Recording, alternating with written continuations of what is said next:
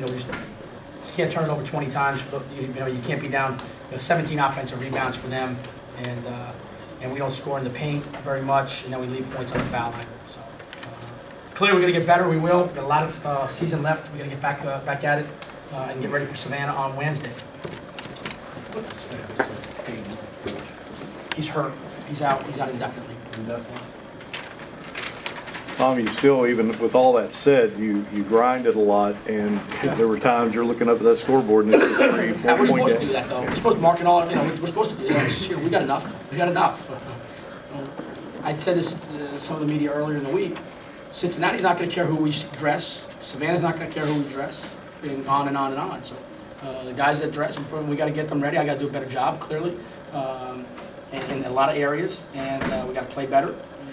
But, uh, yeah, you know, we're supposed to play hard. You know, we, we, we didn't play very smart. We didn't play strong with the ball.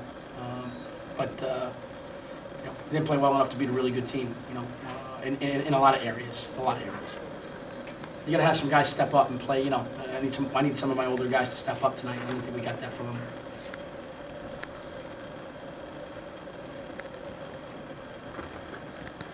Anything else, guys? How's, um, specific, Dennis Tinnon only got three, three field goal attempts in the game, uh, and Yeah, well, their pressure didn't allow us to get into very much offense, so let's not, let's not look at a stat sheet and say, well, he needs more shots. Mm -hmm. You know, that- that- that- that- That's the first thing everyone's gonna panic and say, he needs more shots. Well, their pressure didn't allow us to get into any offensive flow, rhythm, and poor execution. Uh, So that contributed mightily to it. But when you're 0 for 3, I'm not sure how many more you're gonna get either, you know? It's, uh, You're 0 for 3 and 2 for 6 from the foul line.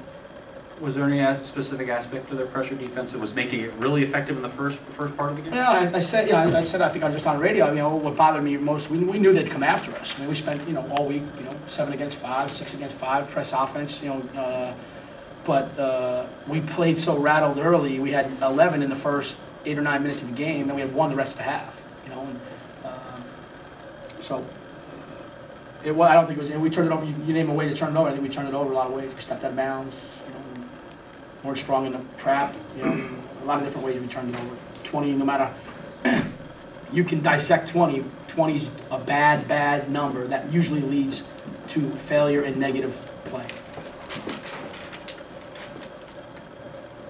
Any other questions? but, uh, Cameron Manning, I mean, Yeah, I mean, you had to, you had to lean on him eventually. he played a lot of minutes for a young kid, and, uh, you know, I always say it a lot, you know, you gotta, go- gotta go through experiences to gain experience. He's also playing against a fifth-year point guard, uh, who's, uh, some feel the best point guard in the Big East. You know, I don't know, I'm, I don't know the landscape of the league as well as I used to, so I can't tell you that for sure, but obviously Cashmere's a fifth-year senior, and, uh, so, so he's getting his feet wet, um, but he's gotta play better, like a lot of guys, he's gotta play better, and, uh, he will, he'll get better, he's, uh, a terrific young man, who wants to be a good player.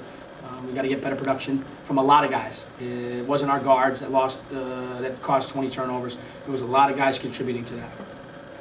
And I know I've asked this a bunch this year, but, you know, when you have those, you know, second and third, third chances underneath the basket, and, you know, you know, shots that could be and ones turn into, turn Empty into possessions. bonuses. Yeah, Turn into empty possessions. Yep. Yeah, I mean, how, how, how frustrating is that, that the build, it just really starts to, I mean, How frustrating. Yeah. Come on now. I'm not trying to be fun, I mean, I know. I'm not trying to be, a- you know, it's, you gotta put the ball in the basket. I know it sounds simple, you gotta put the ball in the basket. you know. We got, we had a breakaway in one situation, we miss a layup, a layup, and then, might have been Scarver, I'm not blaming.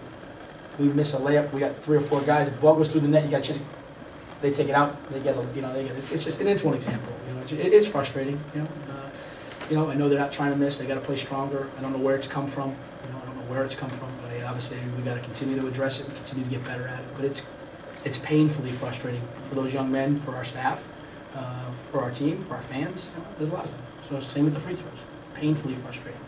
We shot more, We shot them better, but you know, we're not getting any, we're not reaping any reward in that area, so it's obviously very, uh, very concerning and- and and frustrating for all of us. Uh, But, uh, you we're gonna get better, I know that, you know, we'll get, we we have time to get better, We've got uh, opportunities to move forward, and we will, we will.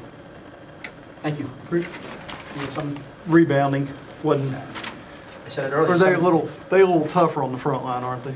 I don't know, I mean, we got two of the better rebounders in the, statistically in the country, but, you know, you gotta go get the ball, you know. We have 11 offensive rebounders, our best offensive rebounder doesn't have any. Uh, You know, but they collectively wore us down, but they're a plus 12 team, on you know, give them credit, they're top four or five in the country in rebounding.